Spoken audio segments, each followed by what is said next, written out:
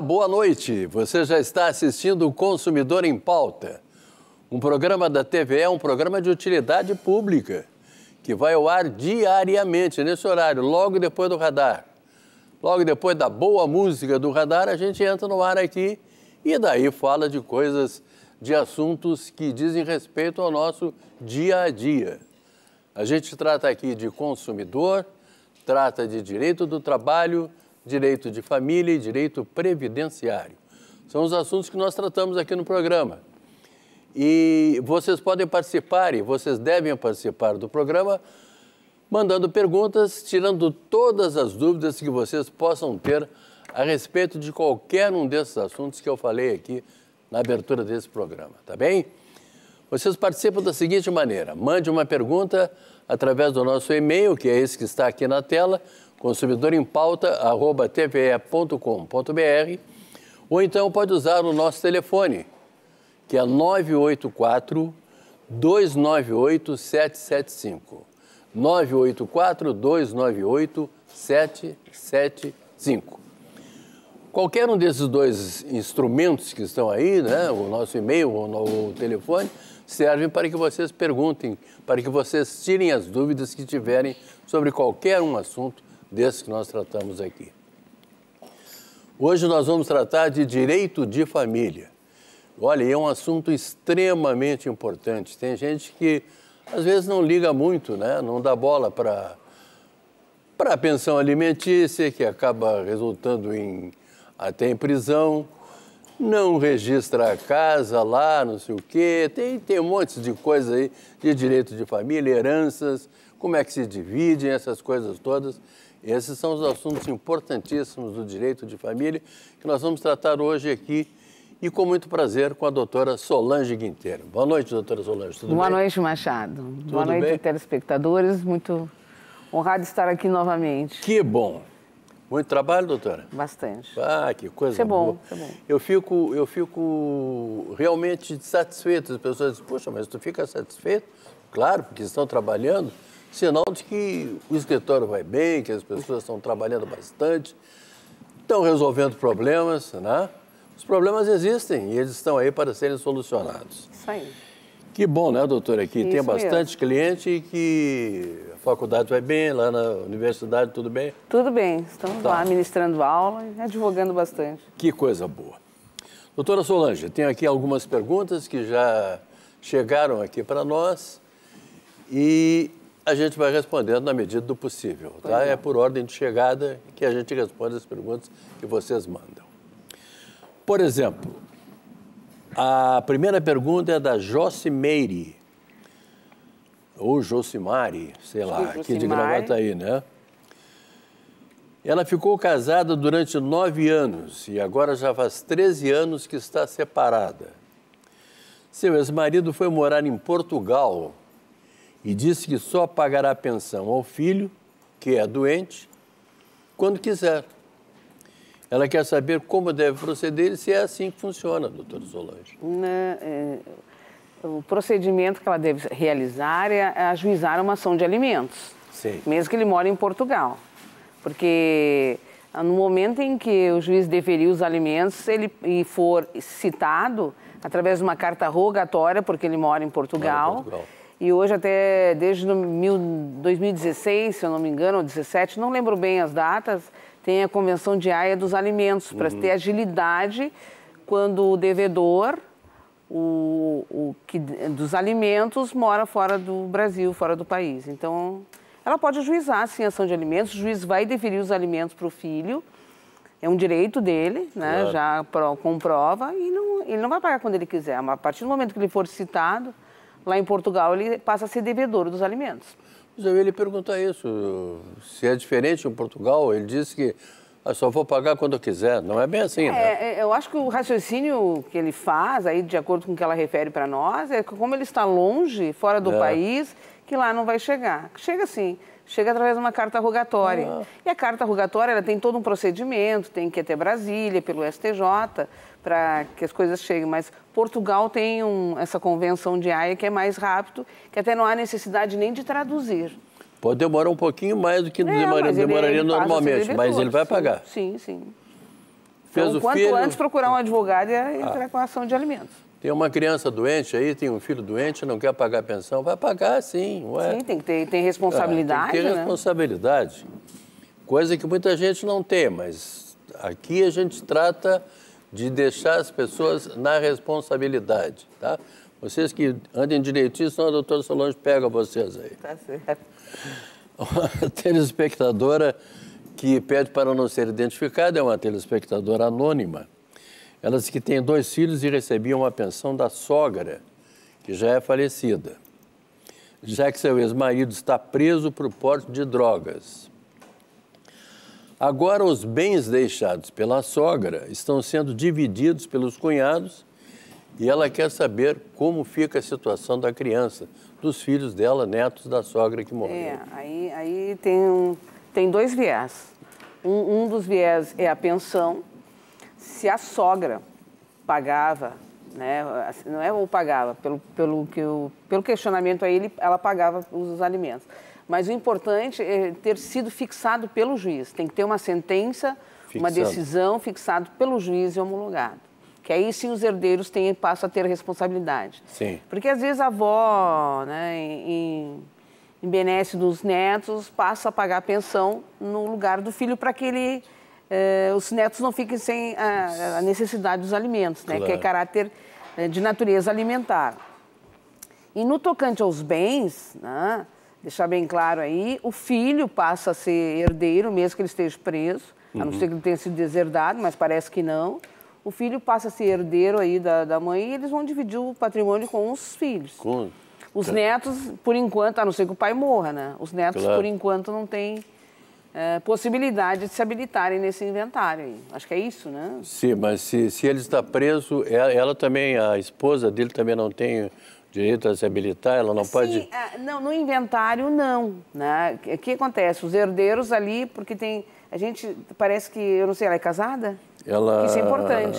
recebia uma pensão. É, a gente Já que seu ex-marido, ela diz, está preso, ela não diz aí, ela não. É porque ela não, ela não deve ter sido casada pelo regime da comunhão universal é. de bens, aí ela teria direito.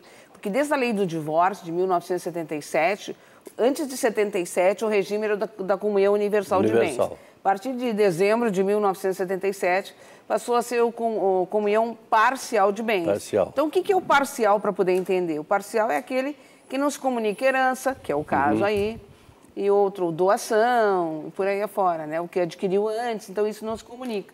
Que aí a gente chama de incom incomunicabilidade dos bens. Né? A herança aí não. Mas se ficou fixado através de um juiz, de uma decisão judicial, que a avó teria que pagar os alimentos, né? existe uma decisão judicial, e não simplesmente ela ter pago os alimentos para esclarecer bem para ela, eh, ela pode sim buscar dos herdeiros, que aí os herdeiros claro, vão é a pagar. Parte das crianças. Né? Isso, né?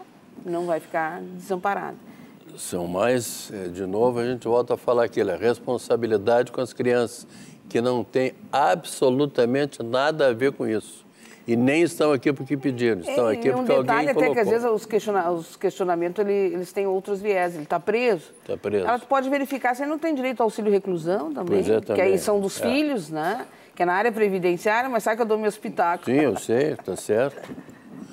Tem que dar. Advogado, né? Advogado é. Eu brinco muito com os advogados que vêm esse programa, porque eu digo assim, vem cá, tu conhece aquela piada do advogado que entrou no céu? Quase, não, não conheço. Não, mas não, jamais vai conhecer, porque advogado não entra no céu. Tá certo. mas é uma brincadeira. É uma brincadeira para dizer que o advogado, ele, ele procura tudo para proteger o cliente, né? Sim, não, a gente. Claro, nós é contratado para isso, né? Nós conhecemos as leis claro. e fazemos que elas sejam aplicadas. É evidente que sim. A dona Essi mora aqui em Porto Alegre. Ela tem um filho maior de idade e gostaria de deserdá-lo. Mas sei que não posso. Gostaria de saber se posso deixar todos os meus bens em vida para outra pessoa que não seja ele. Olha, todos os bens, não. Por quê? Porque o, o fi, é filho, né? É, uhum. é, quando nós temos herdeiros necessários, já vou dizer para todos, nós só vamos conseguir dispor dos nossos bens 50%. Ela pode fazer um testamento de 50% dos bens. Se ela mesmo consigna aí que não tem condições de deserdá-lo, que tem os requisitos lá, né? claro. né? ameaça de morte, etc, etc. Mas aí ela pode dispor de 50% do patrimônio. Isso ela pode fazer um testamento público Ela pode encaminhar um tabelionato para quem pelo menos 50%, 50 que ela tem, ela, ela, ela garante que não vai, não vai para esse filho isso, que ela quer não deserdar. Vai. Isso. Né? A dona, a dona Elizabeth mora em Alvorada. Quando casei, estava grávida, diz a dona Elizabeth. Meu marido aceitou a situação e registrou a criança como filho dele. Tá, então é pai sócio afetivo, é, isso? Como, mas ele, ele registrou a criança Sim, com o então nome ele é um dele. Pai, é. Ele, ele, não é pai biológico, como é, a gente não diz, é biológico. no direito. É. Isso. Como o verdadeiro pai agora quer visitar e sair com o menino, gostaria de saber se ele não tem também obrigação de pagar uma pensão para o filho.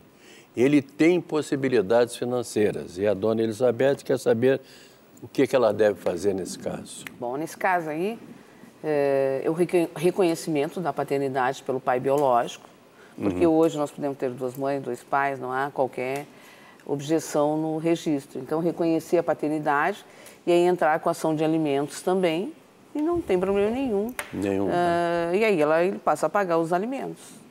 Sim, porque essa história do, do, do, do, do marido dela ter registrado a criança, talvez a criança não, não, não, não Claro, quando nasceu, é ela já estava assim, com outro, hoje né? Com, hoje, com os princípios constitucionais, que a gente não vai dar aula aqui longe disso, né? Sim. Hoje não tem mais essa vedação de não, de, não, não posso ter dois pais. Ele vai provar que ele foi pai sócio-afetivo. Eu até tive uma briga judicial aí, que a juíza entendeu que tinha que pedir a anulação do, do pai sócio-afetivo. Aí a gente, claro, isso tem que comprovar num processo, não é assim, claro. vou ganhar. Sempre a gente coloca isso que é Sim. importante, tem que fazer uma comprovação. Aí eu sustentei que ele era pai sócio efetivo, por isso ele registrou e que o, o pai biológico estaríamos entrando com ação de reconhecimento e ele queria reconhecer o filho como filho. Né? Pronto. Né?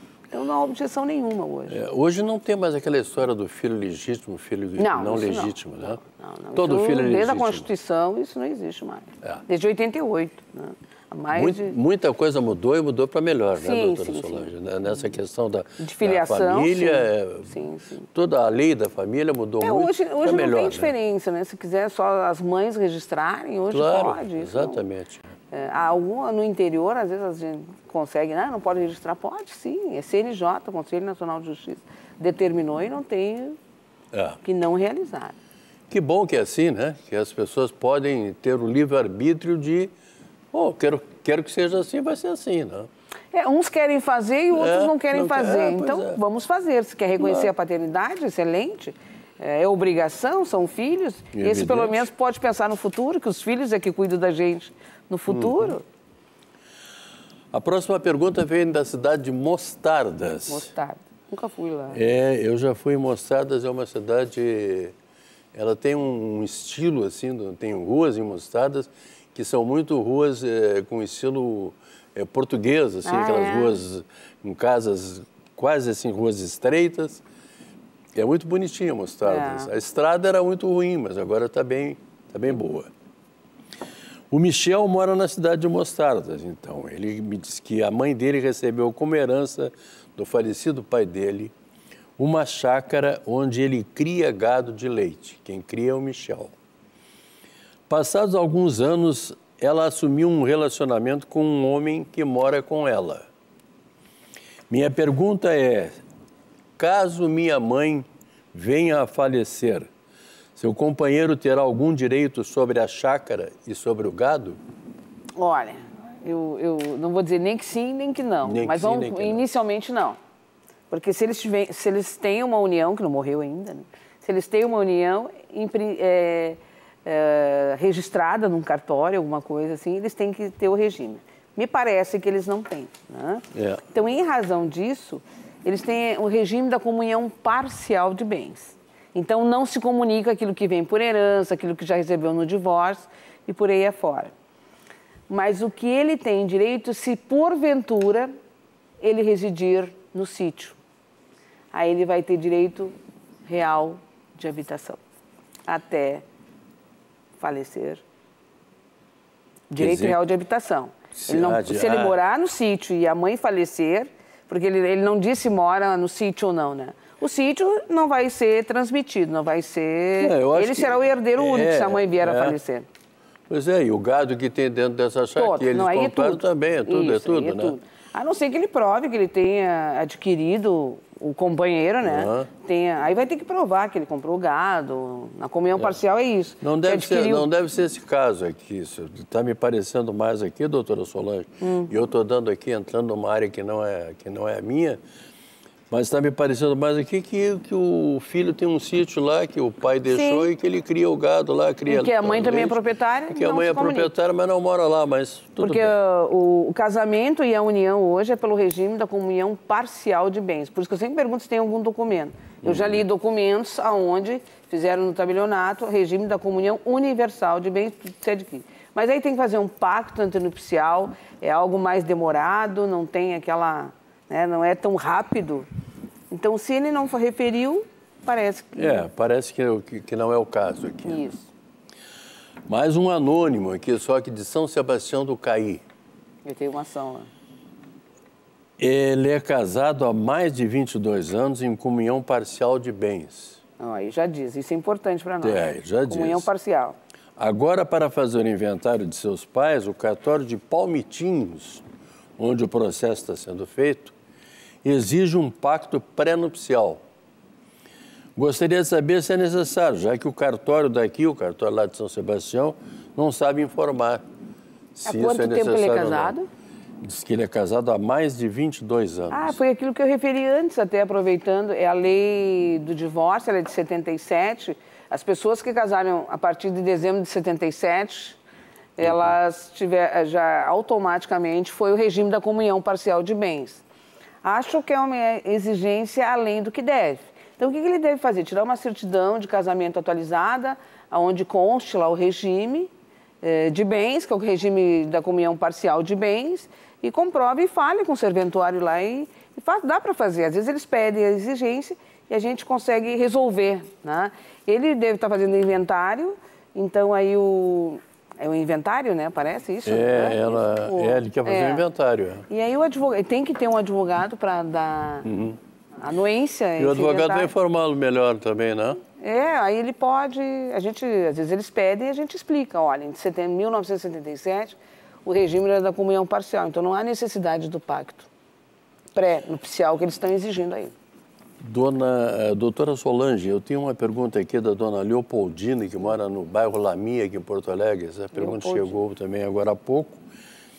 Ela diz que cria a bisneta dela, que tem nove anos. O pai da criança só agora começou a ajudar financeiramente. Tá? Ela quer saber se ele pode tirar a menina dela já que ele vive ameaçando e diz que ele é mal criado, inclusive com ela, ela quer saber o que, que ela faz. Bom, aí assim, a situação, ela é. Aí eu precisava saber de um detalhe. É guarda fática ou ela tem a guarda judicial? Pois se ela é. tiver a guarda judicial, se ela não tiver, ela passa a providenciar hoje. Ela vai até o Poder Judiciário, assistência, Defensoria Pública, ela vai e, e refere para o juiz que tem a guarda fática da bisneta há tanto tempo.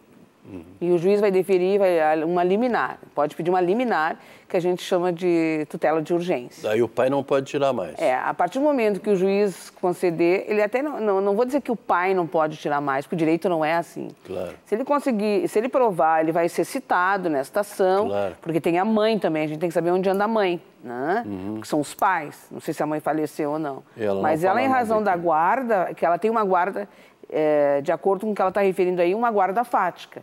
Então, é, hoje, né, ela tem a responsabilidade.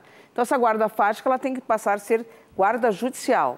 E ela indo perante, inclusive, até antes de ir no Poder Judiciário, agora me veio aqui, ela pode ir no Conselho Tutelar e, por um período, é, regularizar a situação, comprovar que a neta está com ela. Eu não sei a idade da, é, da bisneta, nove desculpa. anos. É? Nove? É? Bisneta de nove anos. Isso, então que ela leva na escola, pega uma, um atestado na escola, regulariza de uma forma provisória junto ao Conselho Tutelar. Uhum. Aí ela está garantida.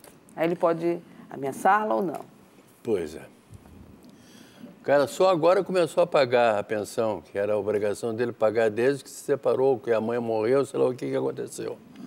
Ainda vem querer dama de, de mal criado ainda? É, Eu não entendi, eu, é Silvia, tá para com... encerrar? Ah, tá, então tá beleza. É, então é isso, ele não, ele não paga e não, começou a pagar agora e fica ameaçando. É que é exigência, né? Que é. tem, como ele tem que pagar alimentos, ele vou tirar a guarda para não pagar alimentos. É uma... Eu, eu acredito, em princípio, pelos meus 40 anos de profissão, que ele não vai fazer isso. Mas yeah. É. ela tem que regularizar a situação, sim, da guarda fática para Até para ela ter um pouco mais de calma isso, na vida. Isso, é né? que aí fica tranquila, está criando claro. a bisneta. Doutora Solange, vou lhe fazer a última pergunta aqui, vou lhe fazer uma, uma curtinha que tem aqui. Tá certo. É a pergunta Sem da problema. Marlene, aqui de Porto Alegre. Ela pergunta se num processo de separação, divórcio, ela põe entre, entre parênteses, gostaria de saber que bens ou direitos são incomunicáveis, mesmo no regime de comunhão universal de bens. É, que são incomunicáveis no comunhão universal são os bens profissionais, por exemplo, meu escritório, meus livros, né? Alguma coisa que tenho deixado um testamento para a pessoa, uma doação, que nós temos aquela cláusula que até já falei aqui, que eu vou falar uhum. de, devagarinho, de incomunicabilidade, se ela recebeu o bem por incom... E então isso não se... Mesmo na comunhão universal. Aí tem esses bens, né? Aliança pessoal também, não se comunica, as joias nossas, joias né? Também não. É, algumas coisas. Tem no Código Civil elencado, assim, mas são coisas nossas, pessoais, Roupas. que não se comunicam. Também, não. Também. É. Vestuário, até porque, né? Até porque é um motivo óbvio, sim, né? Sim, óbvios. sim, Doutora Solange Guiteiros, tive um prazer muito grande de conversar com a senhora aqui e prestar esses esclarecimentos aos nossos telespectadores. Eles são de uma valia que a gente nem sempre sabe o quanto isso aí interessa as pessoas. espero, espero que tenha deixado bem claro para que bom, os nossos telespectadores, né? De uma forma não tão jurídica, né? Mas mais. Mas, é, exatamente. Até para eles poderem entender, porque às vezes a gente fala algum, palavras que é técnicas que, é, que essas pessoas não entendem. Não estou entendendo, é que nem É o médico, tal do juridiquês, né? Isso mesmo. Doutora Solange Quinteiro, muito obrigado pela sua participação aqui. Lembrando a vocês que amanhã, seis e meia da tarde, eu estaria de volta aqui. Vou tratar de direito previdenciário e comigo estará o doutor Luiz Gustavo Ferreira Ramos. A todos vocês, muito obrigado, muito boa noite e até lá.